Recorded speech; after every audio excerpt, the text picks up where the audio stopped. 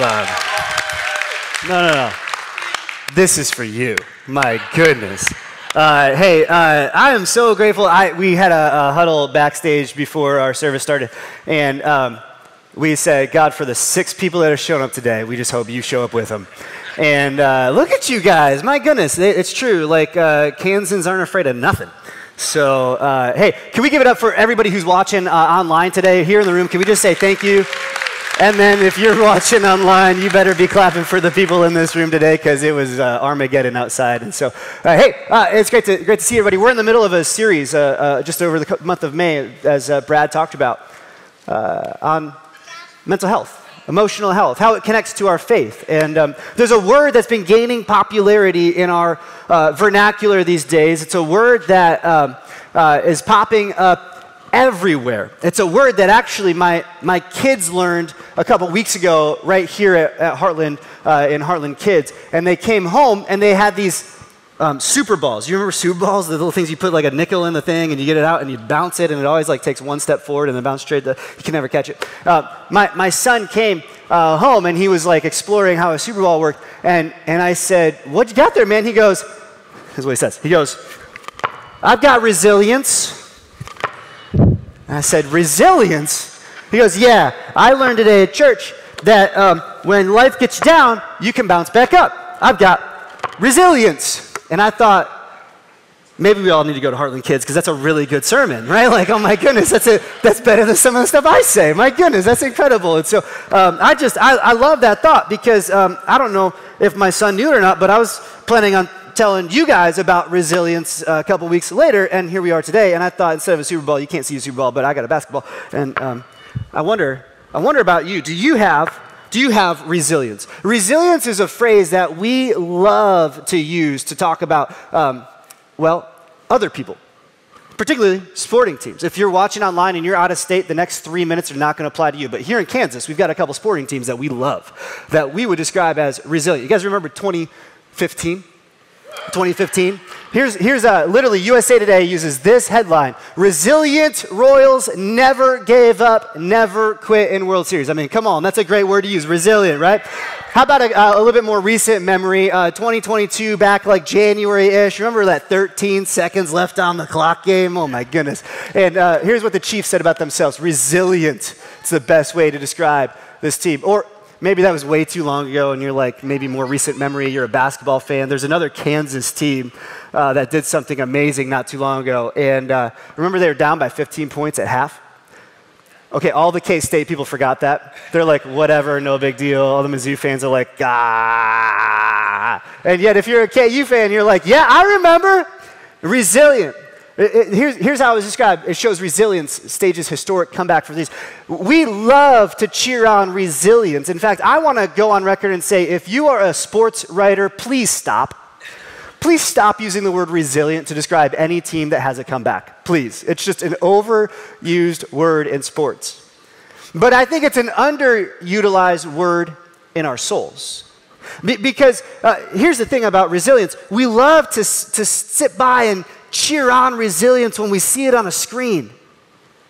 But when we are the ones who have to exercise resilience, when, when we are the ones who actually have to demonstrate resilience, when we have to have the come from behind win, that's a different story, isn't it? It's, it's a little easier to watch the person on the screen who's just dribbling a ball and you're sitting there eating wings and say, come on, man. But when, when you're the one that's in the fight, it's a little harder. Resilience becomes a little tougher. And so uh, I think resilience is the thing that allows us to confront adversity in our lives and to keep going. resilience is, is what uh, happens in our lives when, when we realize that we're up against it, so to speak, and we have to continue progressing. It's easy in a sports field or in a stadium to know who's being resilient or not. The scoreboard literally tells you who's ahead and who's behind. In our own lives, though, it's really hard for us to ever feel like we're winning.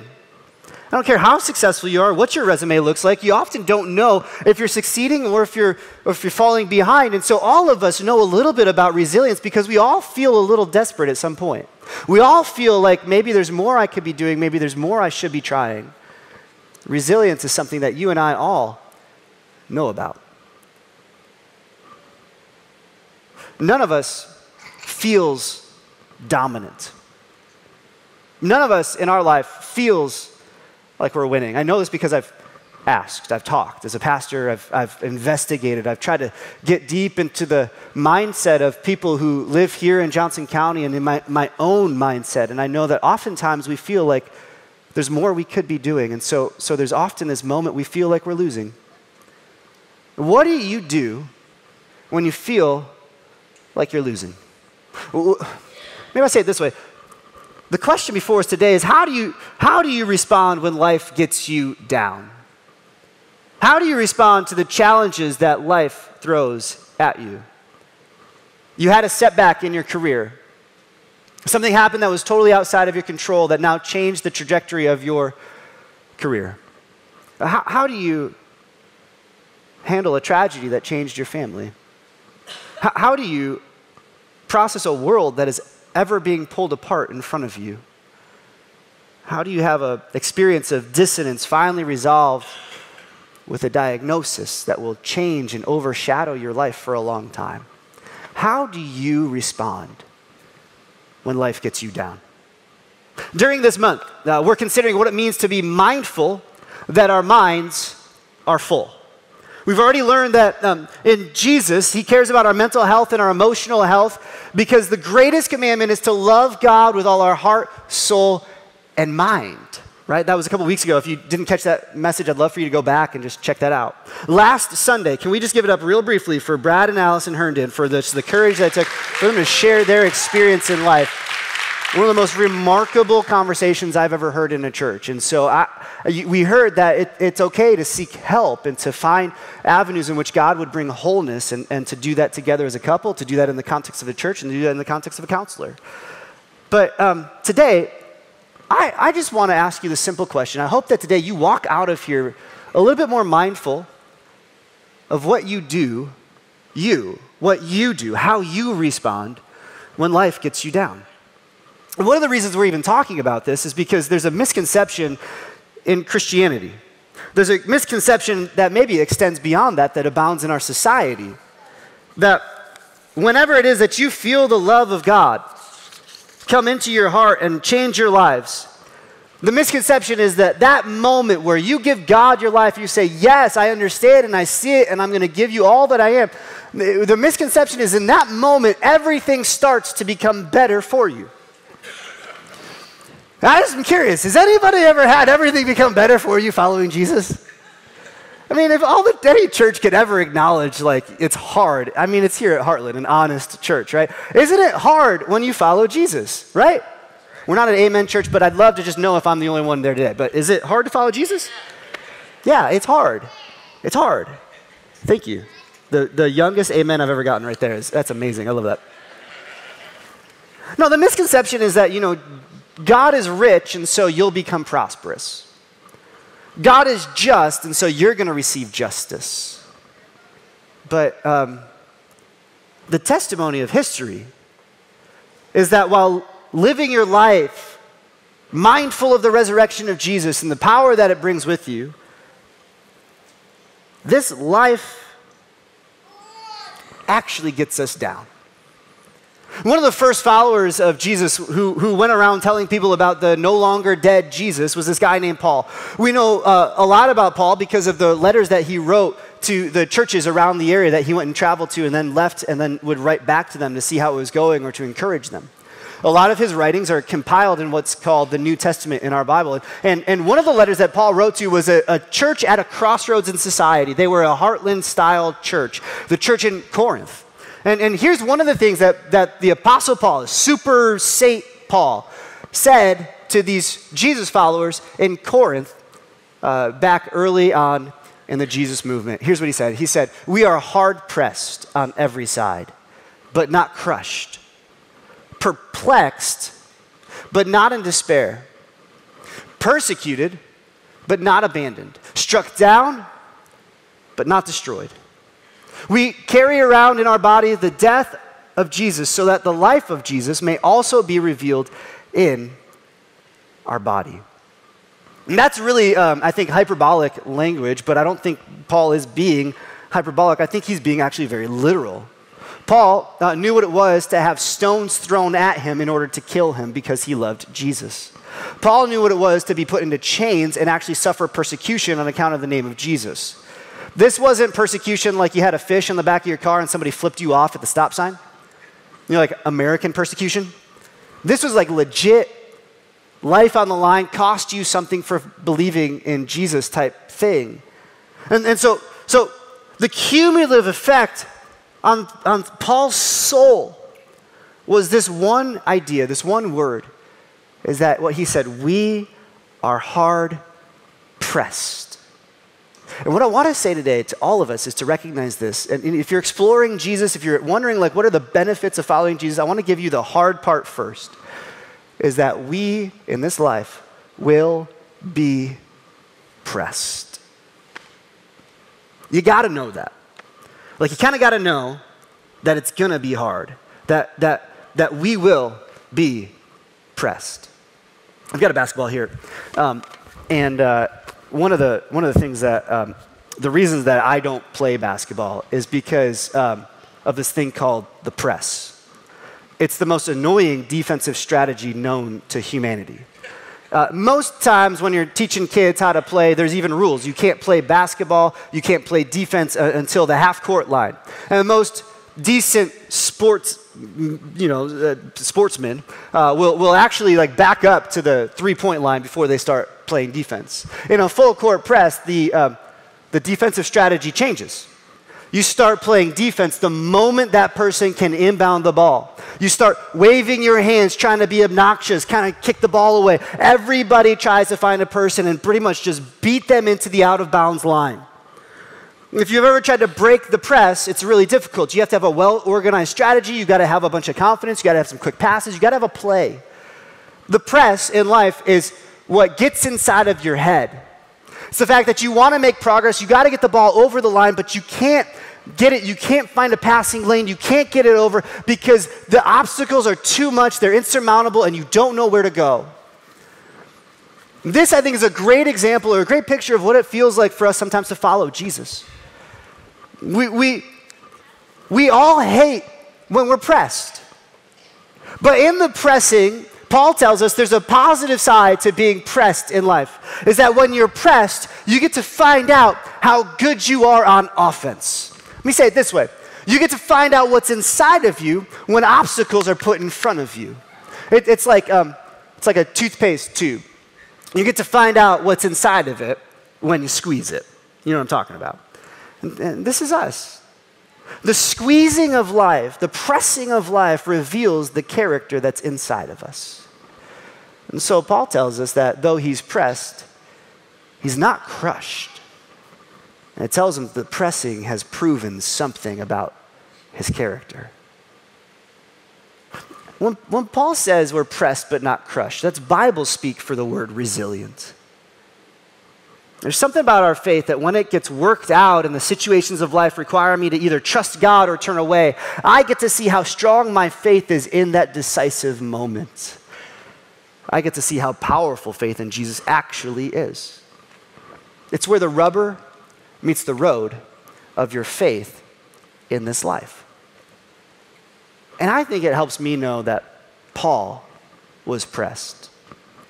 One of the most powerful testimonies last week from what Brad and Allison shared uh, was the number of people who sent us letters or had conversations with us in the, in the, in the atrium saying, Gosh, if that person could find help. I can find help. And I think that's true about the Apostle Paul.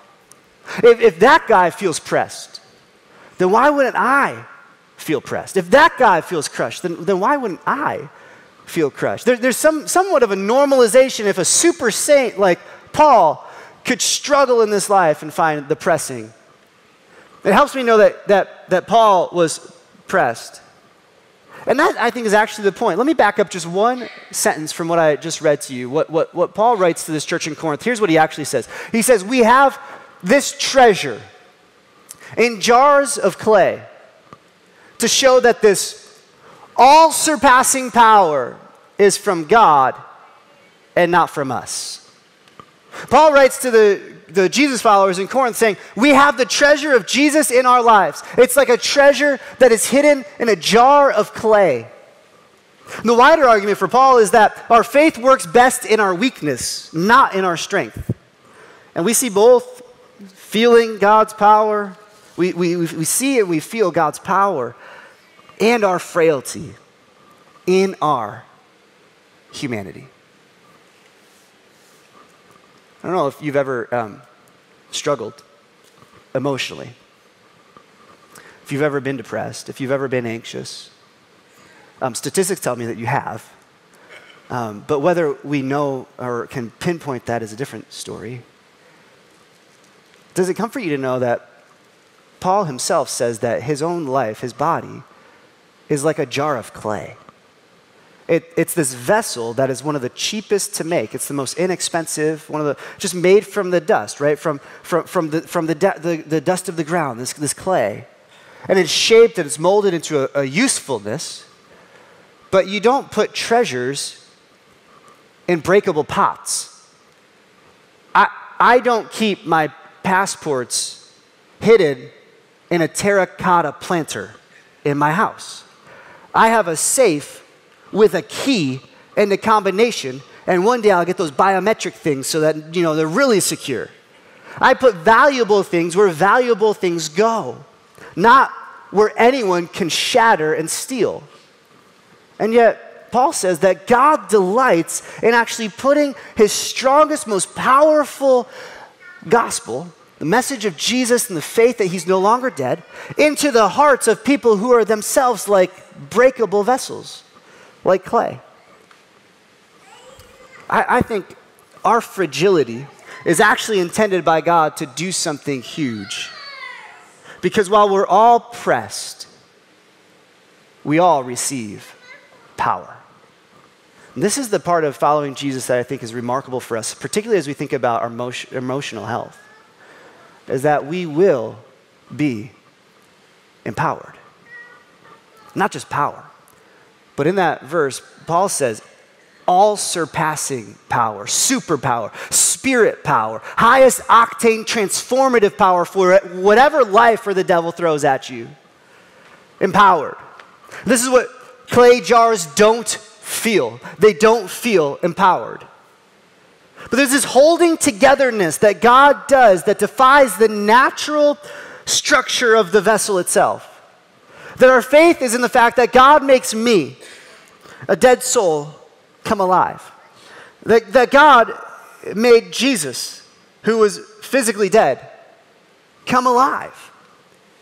The proof for me that he does this in my life is actually the resurrection. Paul said earlier, we carry around in our bodies the death of Jesus so that the life of Jesus might also be carried in us. So, um, how does this relate to our mental health? Well, our faith comes with a promise. I want you to see this. Your faith in Jesus comes with a promise that though you might feel like a fragile, chipping, cracked vessel, there's more power in you than you know.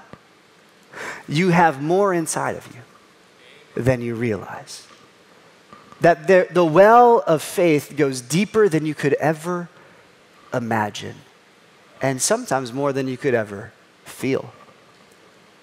God cares so much about your emotional and mental health. He knew that we were going to bump up against the full court press of life. And so he wrote up some plays for us to, to break the press, so to speak, so that we could say life is hard, but we're not crushed.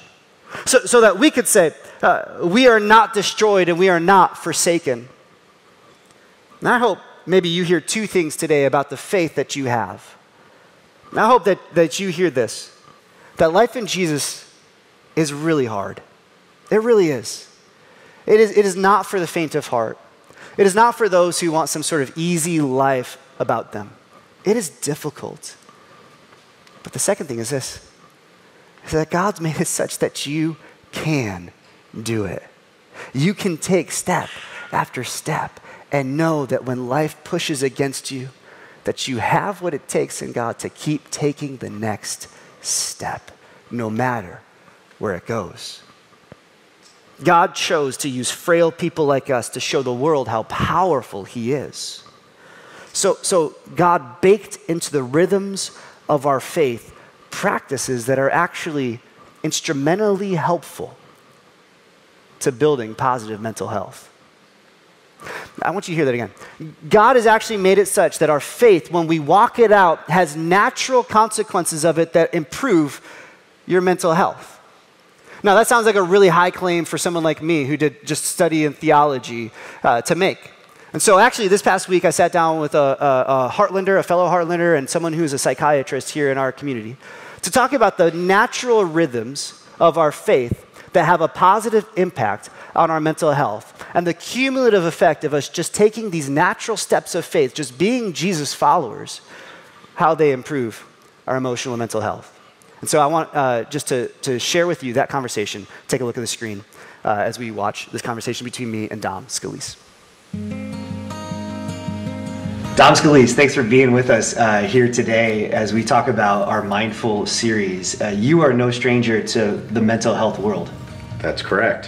What do you do? I'm a licensed psychologist. I have a private practice in town and uh, work with people trying to get better. That's awesome. And not only that, you're also a Heartlander. I am, yes. What was the first time you showed up at our building? Uh, 2007 is when yeah. we first showed up, and then we had a kind of you know wayward journey and found our way back at some yeah. point. So well, we're talking about this uh, this this topic of mental health, particularly that Jesus cares about our mental health. Mm-hmm. And as I talk to psychologists, I've gotten to know a bunch of counselors and myself kind of walk through that journey um, and, and growing in that. I, I've learned that one of the greatest things we can do for our own mental health is to pay attention to what a lot of people have called like the the trinity of mental health: diet, exercise, and sleep. That's yeah. my favorite one. Yeah. Um, that that's got to be a lot of just some of the ways that we fall off the rails. Yeah. I mean, when when you get the question, when people first come in, very often it's like, "What can I do to get myself feeling better quickly?" You know, and you know, diet, exercise, sleep, you know, that is an easy sort of, you know, a religious, uh, you know, thing to offer anyone. You know, if we, we can look at any of those areas and practice better, sleep hygiene, for example, look at diet, you know, and, and figure out, you know, is this right for you and consult with your you know, medical team to figure out if maybe there's some things you're not aware of that yeah. you need to, to cut back on. Well, I'd love to um, take that same approach to maybe following Jesus. Or, or is there maybe a, a triad that's similar uh, that that comes out of our faith? That maybe following Jesus, putting Jesus first in our life, some of the practices that we have. Um, do any of those have a positive impact on our mental health? If you could create like a spiritual mental health trinity, you know, outside yeah. the Father, Son, Holy Spirit, but like the exercise, sure. diet, and sleep of our faith, what yes. would that look like? thank you for asking me to revise the Trinity. Uh, that feels like a really yeah. Um, no, I mean, so within spiritual practices, right? So obviously prayer is a big one, right? And that's we're talking about that all year long uh, about the benefit of prayer. The research supports that there is a scientific benefit to prayer, meditative practices. Uh, we're when we think about prayer, oftentimes you hear one thing, and prayer, as you know, is more than one thing, right? Sure. You're praying on behalf of someone else, praying looking inward, praying, you know, as a way to praise God. You know, there's many, many, many others. I saw a study that said there's something like 21 different flavors, you know. Um, but, it, you know, it, it helps improve your self-regulation after you've been in a meditative prayer, prayerful state. Um, your focus, your attention, your concentration, uh, even things like memory, it looks like. Uh, so the positive impacts are pretty clear right at this point. Um, there's some controversial studies in there about you know prayer working for other reasons, you know intercessory type of prayer, and that's a more complicated body of research. Yeah. Um, uh, but after that, um, things like social connection, you know, sure. friendship within sure. the church, um, outside the church too. Uh, there's um, Susan Pinker is a social psychologist. She has a whole an amazing book called The Village Effect, which was designed to answer the question of why, originally, it was why do women live longer than men, which everywhere in the world, just about, you see that pretty significant difference st- statistically that women are outliving men by years, you know, five to seven years, something like that. And so uh, she's curious about that, like, what's the difference? What is it that's happening here? And uh, she went to different cultures where men lived longer to see what was going on. And there's a little island um, off of Italy, Sardinia, where she did some pretty outstanding research looking at how are these people living so long. And one of the things she found was just close social connections. Of course, family, that's kind of a given. Like if you have family around taking care of you, uh, but talking, you know, being open. Um, you know, this is older research now, but as a family, one of the best things you can do uh, if you want your kids as adolescents to be happy, healthy, productive academically, um, uh, lower their risk for teen pregnancy, is family dinner.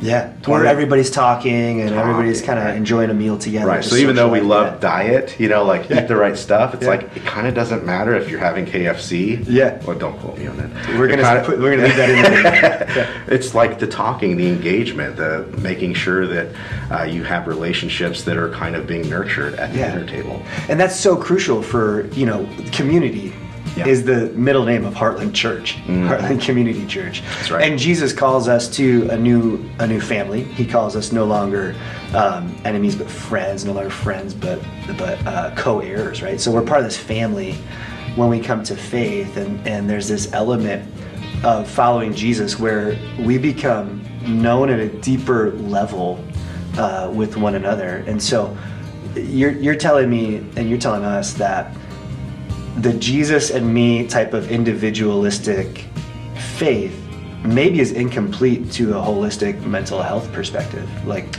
if you're gonna walk out your faith, it's even better to do that in relationship with other people.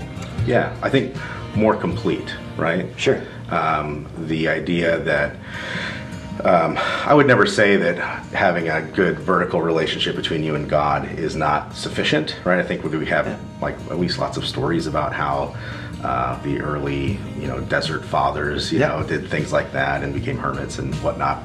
Okay, uh, but I think you know more complete. Like if you want a diversified emotional, mental health portfolio, a spiritual portfolio that is maximizing returns, then absolutely, Yeah. So prayer yeah, has positive mental health benefits. yep, Friendship, sort of like being known by other people and knowing uh, other people and having them know you, right? Yep. Um, what would be the, what would round out that triad? What's the third one? So service, serving others, Yeah. uh, engaging in something that is sort of superordinate to the self. Yeah. And um, you know, there's lots of data that giving uh, to other people, time, and not just money, of course, time, um, being helpful to others, Yeah. right? Which sort of supports the commu- the second piece of the Trinity here, you know, that there's a something that you can do. One of the things, you know, again, in the research on longevity, like one of the things that keeps people alive is not just being close with others, but then someone can see you're not feeling well and you call the doctor or say, you know what, you, you look depressed again, let's go back to the counselor. Uh, or our marriage isn't what it used to be. Um, let's, and, and that in and of itself is an act of service. Uh, I believe that a strong sense of purpose and meaning in life um, is a very important ingredient, you know, for um, you know a good balanced mental health state. And so, serving others, again, even if it's in your own family, you know, I think that that I think the science shows that that is helpful uh, for what we're talking about here having a, a good sense of self and a strong emotional, mental health well-being. So, so prayer, friendship, and service all have this positive impact on our mental health. Just three things that are uh, pursuits that we all have because we uh, are exploring Jesus and want to see how it how it is to live the Jesus first life, or because we've been lifelong followers of Him.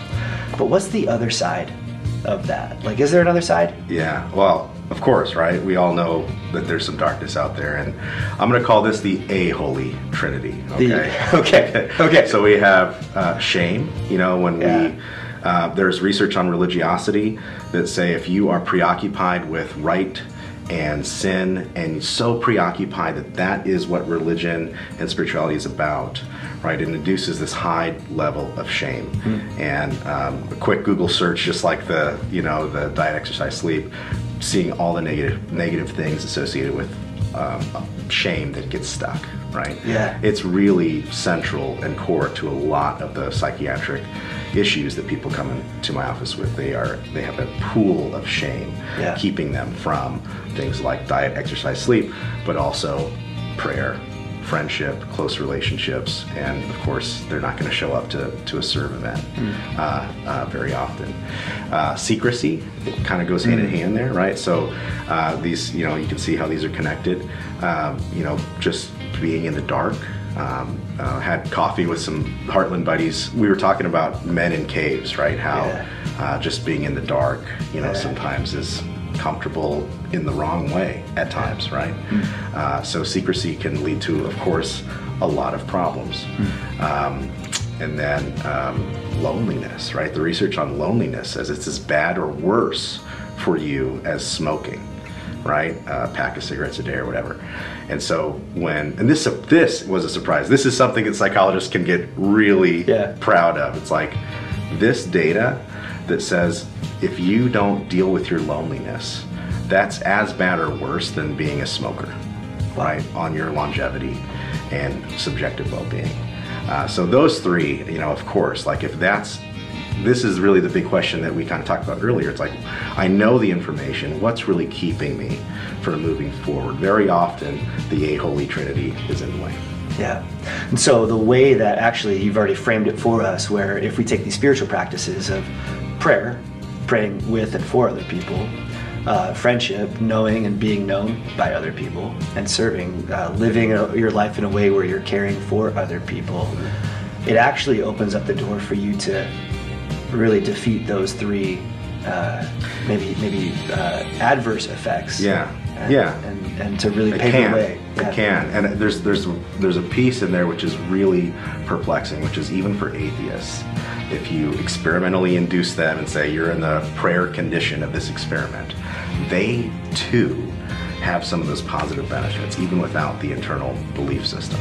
That's incredible. That's incredible. Dom, thanks for your insights and for uh, just sharing your time with us today. We really appreciate it. Absolutely, my pleasure.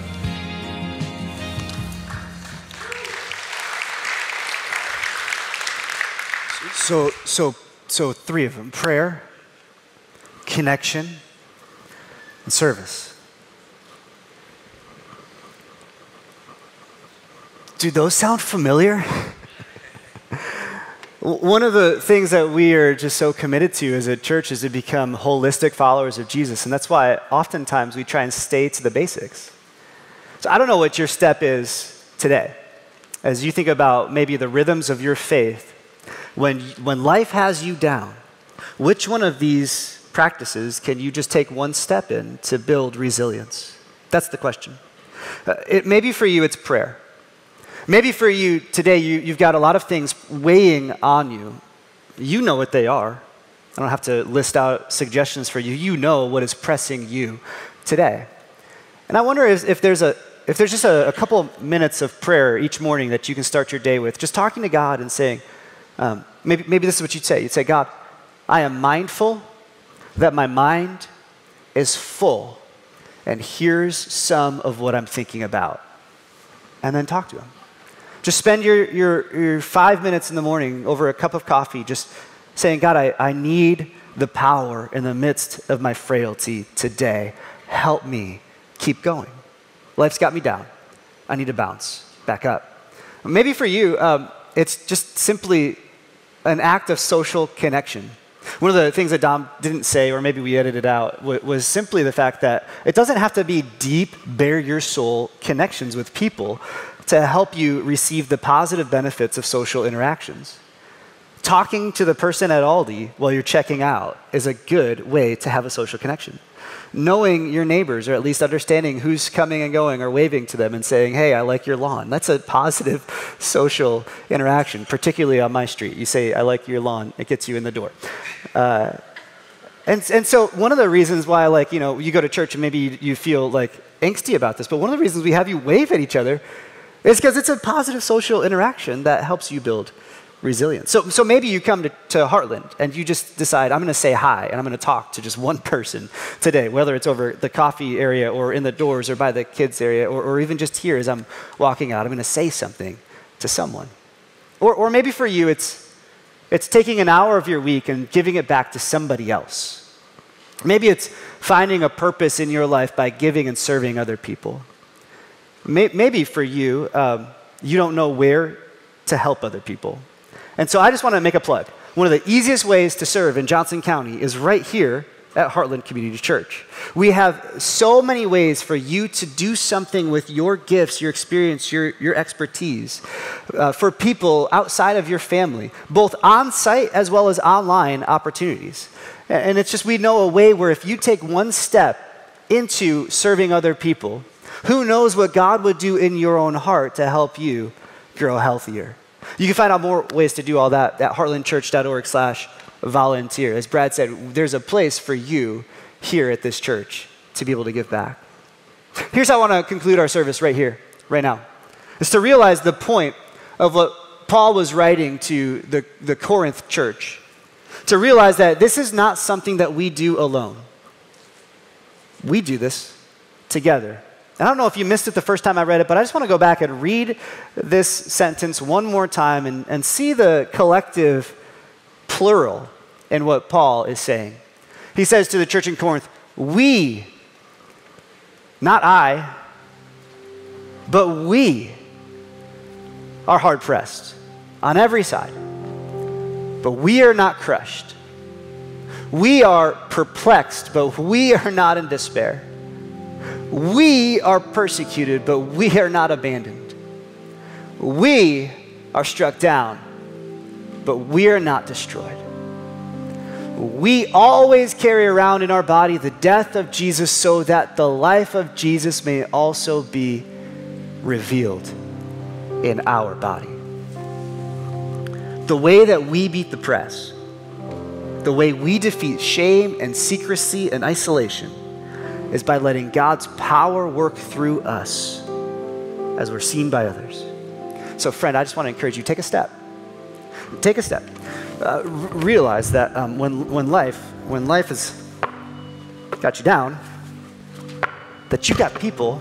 I just hit myself in the face. You've got people that you can pass to. You, have got people that you can that, that, that, that, that can get the ball from you. You, you've, got, you've got people who are right here with you. They might punch you in the gut every once in a while, but you'll get it back.